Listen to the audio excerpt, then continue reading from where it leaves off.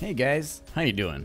So my name's Andrew, Drew or DrewPdrawers, and uh, you know, three years ago I put out a tutorial, long time ago, explaining the use of display captures to do kind of like a kaleidoscope effect, um, using a webcam to do like an infinite repeating pattern. Um, sometimes I realize that you know not a lot of people have extra, you know, monitors or things to utilize that effect. So I figured it would be a good time to come up with a brand new tutorial. Um, basically, that would teach you how to like create automated effects without the need of extra monitors. And uh, it's something that can be found using the shader filter. The shader filter has been something that I've been extremely excited about. It's an OBS Studio plugin. Um, you definitely want to be able to check it out. It's absolutely free. I will provide the download link in the description. Um, so the display capture, if you're looking at it, kind of looks like this. It's OBS Shader Filter version 1.0. Um, so basically what you want to do is go ahead and click the download button. Um, and what you're going to want to do is just extract that into your OBS uh, plugins folder. Um, so if you wanted to go ahead and find that, um, if it's installed in the right location, it'll look like this. If you have trouble finding where to put it, um, I will also put the file path to where I have it. It's program files, OBS Studio, data, OBS plugins, and it should be dropped in. Once it's installed correctly, it should say OBS shader filter win. Um, definitely with dashes in there. If everything's installed correctly, you'll see data, OBS plugins. Um, so in the data filters, you have OBS plugins, these two folders, shader filter and transitions. Um, so the examples in here don't really mean much to you until you actually apply these within OBS Studio. Um, so what we're going to do is we're going to show everybody basically how to um, add these effects to your webcam.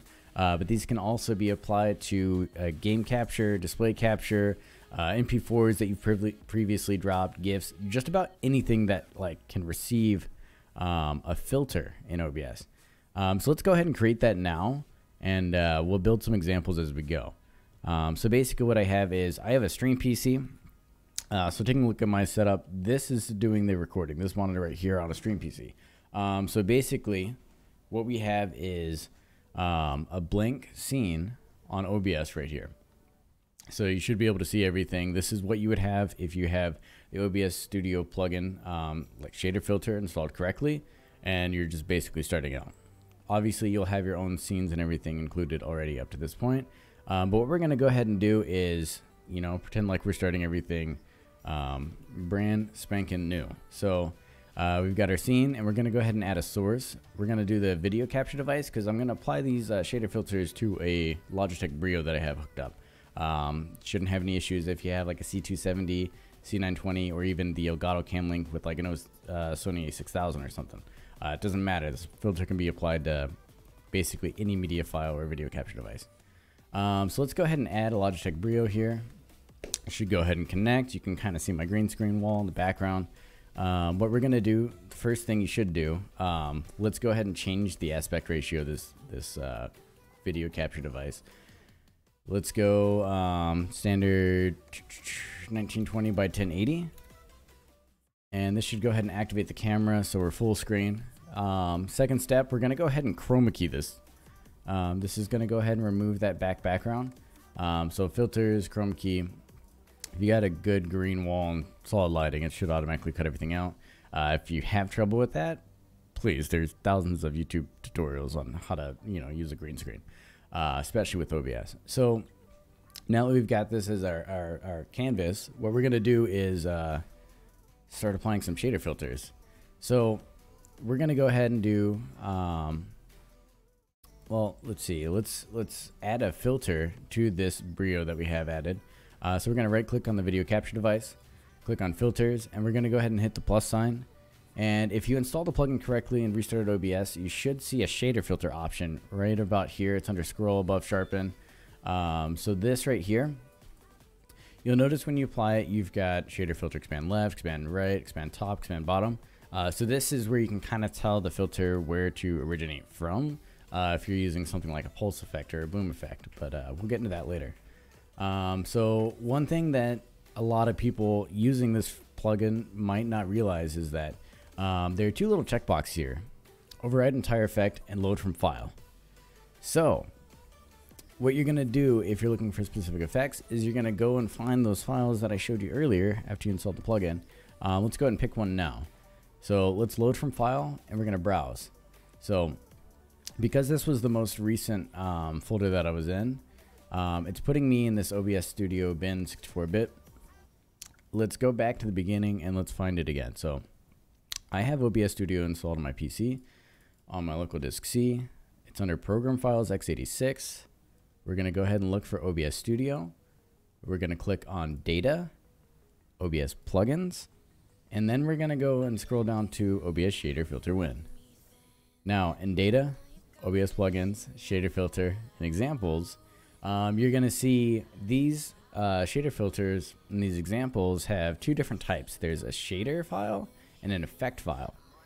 So let's do something um, that'll kind of show you what's going on very easily. So um, a lot of people might want a shake effect, you know, pretending like you're an earthquake or, um, well, let's just go ahead and apply it and uh, kind of show you what it does. So you notice my webcam is completely gone right now.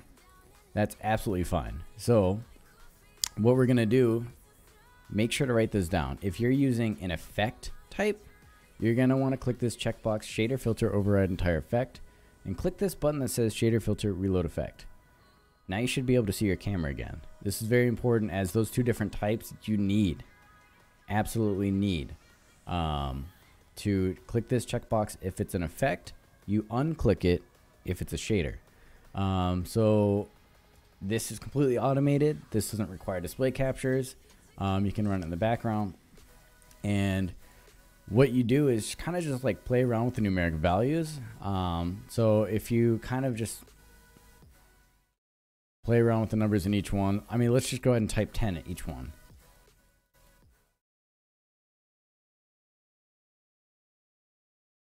And let's click randomize movement and warble.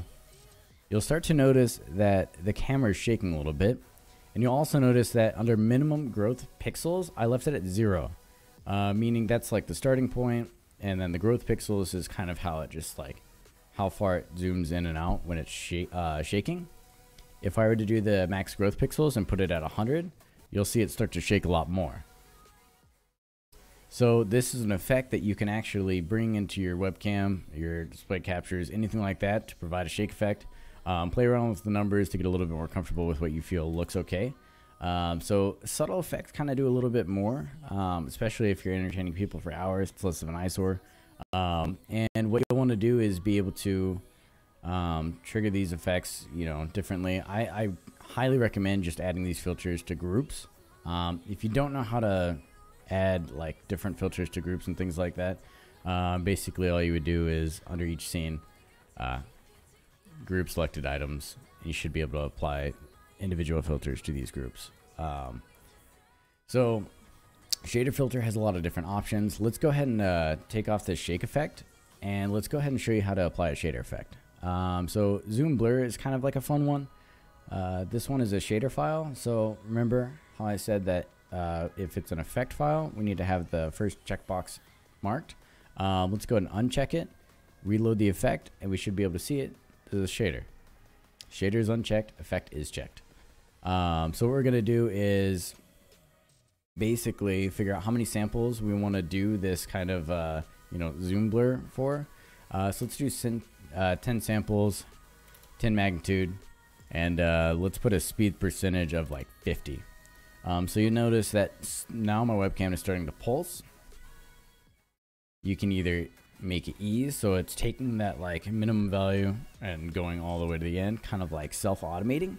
Um, you can also make it glitch, which will kind of make it, you know, it'll pop so it works really, really well for um, you know adding to scenes where you're playing music or maybe um, in between transitions. And, use your creativity on how you want to use these, but I highly recommend uh, just getting familiated, familiated, uh, getting familiar. I can use words. I'm very good at it. getting familiar with this folder, the examples from the OBS shader filter. Um, just know the difference between a shader file and effect file um, and how to make sure that they work. Uh, just start playing around with numeric values when you're applying the filters.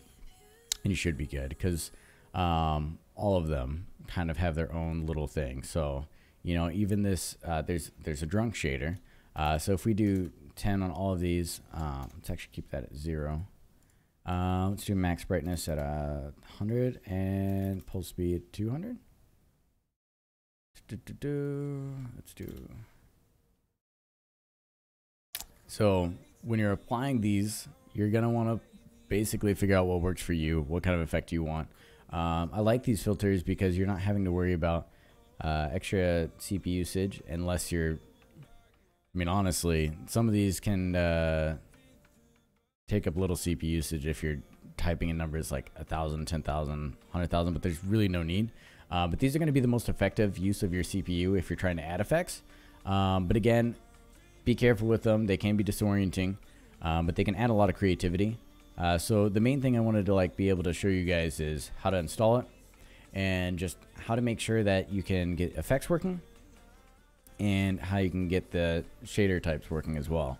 Uh, just play around with the values, see what you can come up with. Uh, there's everything from adding, you know, little PNG files to animating movements. Uh, but, you know, maybe I'll make another tutorial about that if another people are watching this video. Um, feel free to you know, comment, like, and do all the other fun stuff that YouTubers might say uh, in the middle of their video or towards the end. But uh, hopefully this helps. I appreciate you guys. Thank you.